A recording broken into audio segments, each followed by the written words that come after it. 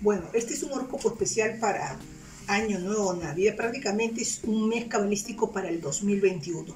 Esperemos que salgan muy bonitas las cartas, esperemos que también todo lo malo se vaya y lo bueno pueda entrar a este nuevo año que ya no es bisiesto. Vamos a ver qué es lo que sale para Aries en este nuevo año. Sale el rey conversaciones muy importantes los primeros meses del año, el as de copas, una compra de casa, un negocio, algún tipo de trabajo, algo importante que se viene en camino para ti, conversaciones con gente de muy, buen, de muy buena alcurnia.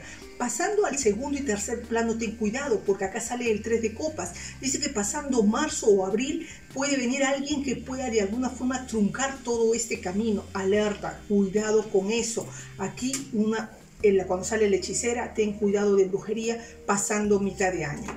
Vamos con los amigos de Tauro rápidamente. Sale el 2 de bastos, cuidado con la salud comenzando el año o con la pérdida de dinero empezando eh, febrero y marzo. Aquí prácticamente está marcando, mira, ve, ingreso universidades, estudios, maestrías, prepararte, pero el 2 de bastos dice algún peligro de alguna estafa o de repente algo que pierdas en camino por confiado, Tauro. Mucho cuidado en el lado legal o judicial, como que se arregla algún asunto de herencias o algo que va a venir en camino. Un año bastante fuerte para Tauro porque está empezando con el 2 de bastos que indica siempre un peligro. Vamos con los amigos de Géminis. Géminis sale la sota de copas mirando a los oros y aquí mirando oros. Géminis, sí te van a renovar, sí puedes ascender o sí puedes crear una empresa si gustas, porque salió la trilogía y el Padre, el Hijo, Espíritu Santo y un buen convenio donde puedes de repente entablar eh, algún tipo de conversación con gente de fuera. La sota de oros también te recomienda el tarot estudiar idiomas. Vamos con cáncer el emperador, la emperatriz y el cuatro de copas. Cuando sale el emperador y la emperatriz dice que vas a doblegar cáncer a una persona de un carácter muy fuerte y triunfo amoroso para ti. Este es el año de cáncer totalmente y cuando sale la emperatriz habla de trabajo, una buena corona, una estabilidad económica, como que vas a tener un respiro y al menos darte unos gustos que no lo veías hace tiempo. Acá vas a doblegar prácticamente al león el 5 de copas, muchos cáncer este año se están casando pasado mitad de año. Vamos con Leo. Leo sale aquí los oros, la sota de espadas, cuidado Leo. Dice, una mujer de tu entorno laboral querrá ponerte zancadillas, pero alerta. Sale el 7 de bastos mirando hacia tu cosecha. Mucha envidia empieza el año Leo, tanto hombre como mujer cuídate de habladurías, pues sale acá la intromisión de una suegra, de una madre metiche o algo, de alguna mujer que quiere de alguna forma llenarte la cabeza de maldad. Y al final, mira, pasando mitad de año, enredos, problemas o separaciones entre familias. No dejes que nadie te lave el cerebro. Vamos con Virgo. Virgo, el mago, el dos de espadas y una carta por acá. Cuando sale el mago en el centro, dice, tienes todos los haces en la mesa, pero no sabes utilizarlos nativo de Virgo. Aquí mira tu carta. Mira esta. ¿Qué quiere decir? Como que van a venir personas que te van a confundir. De repente te vas a sacar la lotería y en ese caso de la lotería puedes perder todo, todo el dinero por culpa de terceras personas ambiciosas que solamente te van a comer el cerebro. Cuidado con Virgo y su buena posición porque parece que algo quieren malograrte la reputación y que pierdas todo. Esto indica viaje para algunos empresarios o su empresa renovación mezclado con los bastos. Pero ojo, el primer decanato de Virgo sí la tiene compleja y difícil este año. Cuídate sobre todo de hipócritas que solo quieren comer de ti. Vamos con Libra. Libra, el sol, la muerte. No te asustes. Y los oros. Cuando sale la muerte, todo tu pasado malo se lo está llevando la muerte. Aquí el sol indica tranquilidad, belleza, espíritu limpio y aquí los oros claramente están marcando una estabilidad económica de enero hasta los meses de, septiembre o octubre. De repente octubre. O sea, la carta de los amantes para Libra marca tanto ganar un juicio, tanto estudios o también algo importante que viene en camino para ti. Vamos a continuar con Escorpio. Pon atención, Escorpio, ¿qué te trae este 2021? Veamos. Sale el caballo de oros. ¿Qué quiere decir? Viajes, estudios, embarcarte en algo hacer algún tipo de diligencia empezando el año. Las espadas dice ten cuidado porque pareciera para los jóvenes escorpiones, porque esto habla de jóvenes, habla como que hay mucha envidia, gente que te quiere involucrar en vicios, drogas, alcohol, pandillas y como que en trabajos oscuros.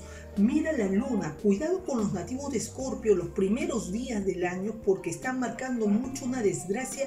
Oye, si tienes un hijo escorpión, cuídalo mucho los primeros días porque están marcando mucho una desgracia. Parece que el año para Escorpio empieza con mucha fuerza, con mucho golpe, con mucho dolor. Así que espanta la muerte de tu casa, pero la luna marca brujería también. No te vayas a meter donde, donde terceros para, dice que no voy a florecer a mi hijo y lo friegas. Sale el arcano mayor de la justicia cuando se junta con la luna al costado. Dice que muchos enemigos tuyos caerán, pero te tratarán de jalar también. Alerta, Escorpio, no la tienes nada fácil en verdad, sobre todo los que están en el segundo y tercer decanato. Y cuidado con una falsa amistad trigueña. Vamos con Sagitario. Sagitario sale el 3 de espadas, el ar de espadas y el 4 de oros. Cuando sale esto quiere decir que algún problema o de repente tema eh, con militares, con policía, alguna denuncia, algún tipo de problema que te pueda llevar a algún sitio, pero eh, al final lo solucionas. Cuando sale el sumo sacerdote, está hablando del apoyo también en el lado de trabajo de un jefe, de un superior o de alguien mayor dentro de tu hogar que puede apoyarte. Así que, Sagitario, esta carta no marca nada malo, al contrario, marca la protección divina desde el cielo. Una carta más para este año pasando mitad de año controlas todos tus males. Vas a ver que sí, todos tus males se acaban pasando mitad de año. Vamos con Capricornio. Capricornio sale el 4 de espadas, los celos, Capricornio. 5 de copas y 4 de espadas. Dice celos en el lado matrimonial y que puede llevarte a un final. Cuidado con amantes, Capricornio, porque veo que por ahí las cosas no están marcando nada bueno. Y sobre todo el 5 de oros más el arcano mayor de los amantes cambia mucho el, el significado, porque dice que en el lado económico se va a multiplicar todo lo que tenga en tus manos, pero cuidado con el amor. Vamos con Acuario. Acuario sale la sota de espadas. Dice noticias, se vienen noticias, papeles, documentos, trámites, algo comenzando el próximo año. Aquí florecimiento, pareciera que vas a ganar algo o vas a ganar una herencia o vas a vender alguna propiedad que se te hacía pero problemática. Acá la suma sacerdotisa siempre marca la presencia de brujas alrededor tuyo. Mira, con el 5 de basto indica ensañamiento de alguien hacia ti. Cuidado porque esa persona está dentro de tu camino y está marcando al quinto mes del año, lo más trascendental para Acuario. Vamos para Pisces. El diablo, ¿qué pasó? La emperatriz. Cuando sale el diablo, estás encadenada a un sufrimiento porque no te gusta el ambiente de tu chamba, no te gusta donde estás, pero tienes que seguir. Ah, también es como que te sientes esclava de un, de un, tipo de, de de repente de entorno que por ahí no te consideran bien, pero yo veo que es tu cabeza más que otra cosa.